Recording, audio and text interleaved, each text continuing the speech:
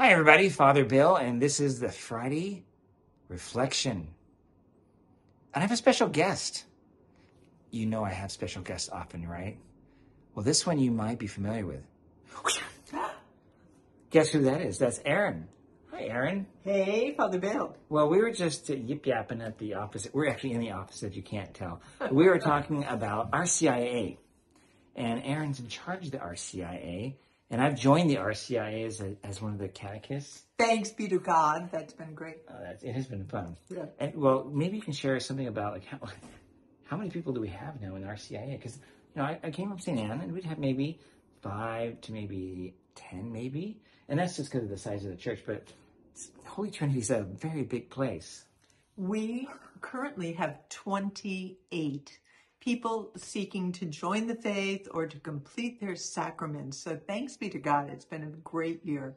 And I got an email today for two more. What? Yes, it's unbelievable. The Holy Spirit is alive and well in Beaverton, right? Yeah, you know what I love about the RCIA, and I'm a cradle Catholic, so that means I was born and raised as a Catholic, and I kind of take it for granted. I can't imagine being another faith tradition. And then these folks come, and they're coming from all kinds of, from nothing to maybe even a pagan religion, or maybe a uh, a Protestant tradition, or maybe they are a Catholic hasn't been practicing. Um, but it's just amazing to see people kind of turning their lives in this way, and it's really inspiring, I must say. If uh, if you've ever seen people that are excited about the faith, you know what I'm talking about. They're all excited, and when we were getting together about just having some faith sharing, there wasn't a real hesitancy to do faith sharing. They were all like wanting to chat and talk, and it was exciting. No, it's been great. And then, you know, in addition to that, I think we have seven, actually, nine people on the RCIA team. Now, these are. That's right. This is a big team, too. yes, it is.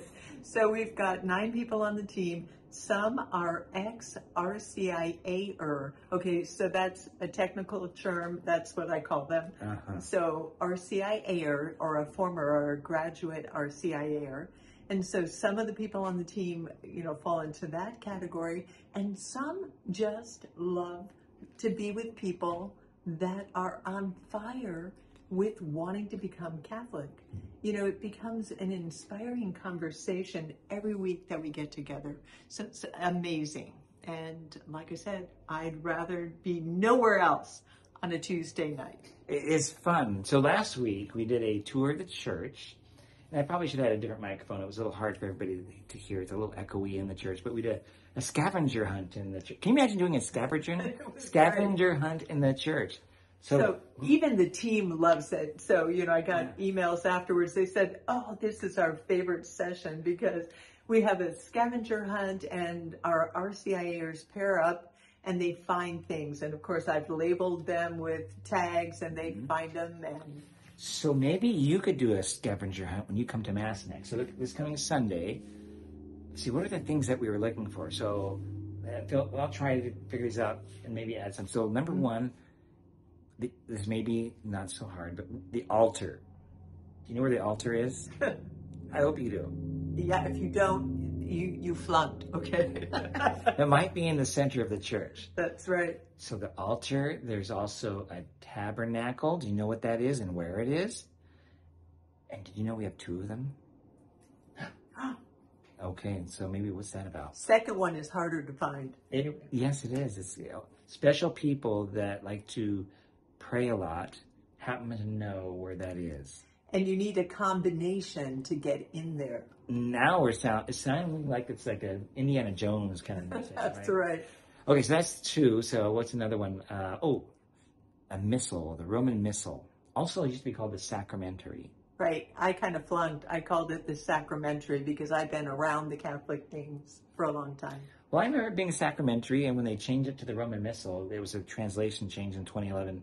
Um, it's, it was hard because uh, it's no longer a dynamic equivalence from Latin to English. It was a literal equivalence, and well, there's a lot of compound sentences and de- dependent clauses, and I kind of goofed it up. And there's other ways of saying certain things that I just, well, I still, if I leave my eyes leave the page while I happen to be using it, then Well, then I say the old stuff. So anyhow, so that's one. Old, even if it's old, it works, right? Well, that's real stuff. that's true. That's true. So that's uh, okay. And then there's a lectionary. So there's a Roman Missal, a lectionary. Do you know what that is? Then And there were two places that look kind of the same, that's but true. have different names. The other one's a gospel book or book of the gospels. These are all red books, and so it really confused people. And they're big and they're all thick. And uh, here's something that we didn't do in RCIA. So there's the Roman Missal, but there's a version that's called an abbreviated Roman Missal. We call it the Book of the Chair, and the big thick one we kind of call the Book of the Altar. Now I'll, I'll let you figure out. Maybe you might note that is. If you're seeing this on Facebook, you can go ahead and put your comments in and see if you know what all these are. So that's uh, what else is there that we were doing? Well, there are the locations where you use the book of the gospel, Mm-hmm. and there's another place in the church looks just like it, That's right. but it's called something different. We're not going to tell them what the name is. Maybe you have to guess what it is. So that would be mystery item one and mystery item two. Okay. And then there was uh, the baptismal font. And oh, I don't think this was an actual item, but you know what the nave is? The nave. And so if I'm looking out at you, I'm navel gazing. Okay, that's a bad joke. It was the good, well, everybody in RCIA laughed. So Yes. They thought it was great. Okay. Uh, and then there's the sanctuary. Where's the sanctuary? Yeah, I even labeled it. So I don't know, you're going to have to think a little bit about where it is. Okay, what else was in that list? We had, oh, so we said that, um, the credence table. Credence table. Mm-hmm. Okay, that's good. That's a good one. We had the choir, Well, I think we all know where the choir is, right? right? Okay, yeah. We had the pew.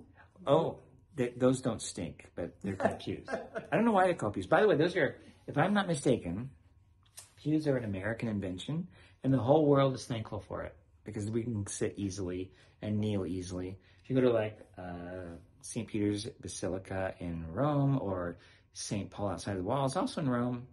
Well, actually, that's in Rome. St. Peter's in, is in Vatican City. There's no pews. They actually have to bring them in, and so people can sit in chairs and various things. But otherwise, it's just a big, massive space with no furniture whatsoever. I know, I've been in places like that in Mm-hmm. Italy. San Remo. San Remo. Yeah. I've never been there. What is that? Uh, you know, it's funny. It's kind of like the Nashville of Italy, if you will. And I was there. Oh, they for- play like country music there? Not really, but it's it's like a place like that. Oh, okay. I went to a Christian music festival. Oh, yeah, it was pretty cool. Okay. Well, we Catholic Christians have lots of detailed, and you said it yourself, uh, in RCIA, we have titles for everything. We name everything, like an aspergillum. Let's see if you know what that is. An aspergillum. He made me get it. Guess what? It wet people when he shook it at them. You got an idea of what that is? You know, the sprinkling rite at Mm, yeah. Easter? Hmm. Well, I do know the word aspergillum comes from the Latin aspergus, which means to sprinkle. Are you getting it? I hope you're getting this. See, it's fun. You should come to RCIA. Yeah. So you showed him two other things that we have two of where you vest and where you work. That's right. These are special spaces where I vest and put on just my alb and a chasuble over the clothes that I already have. So I'm not really changing clothes, but I'm just putting more clothes on. And altar server is also there. And the other one where other things are done, prepared, like a, a chalice. Do you know what a chalice is?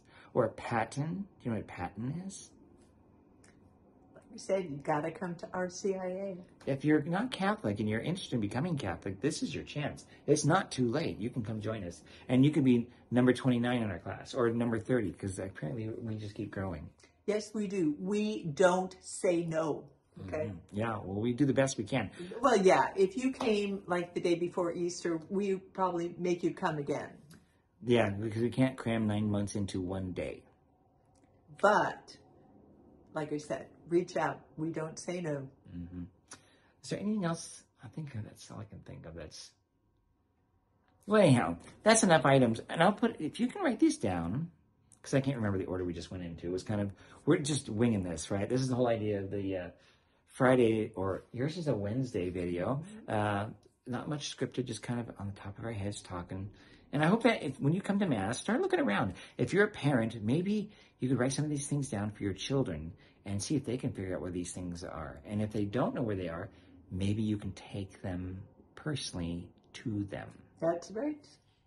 Okay, well, folks, that's it for now. We will see you at Mass. Deacon Brett is preaching, and I, when we were preparing, we have like a committee that we kind of help discern and, and reflect on what maybe be preaching. He's got an awesome homily coming. It's gonna be So you've got to be there. it's gonna be on the edge of your seats. You know who else is gonna show up? And this is the most important. Jesus. He's gonna show up. He does every time. Yes, he does. He shows up in the Eucharist primarily, but he also shows up in the community. He shows up when the word is proclaimed. It's him proclaiming itself. I mean, him who's proclaiming through the reader. Thanks be to God. All right, everybody. Take care, and we'll see you then. Bye now. Bye.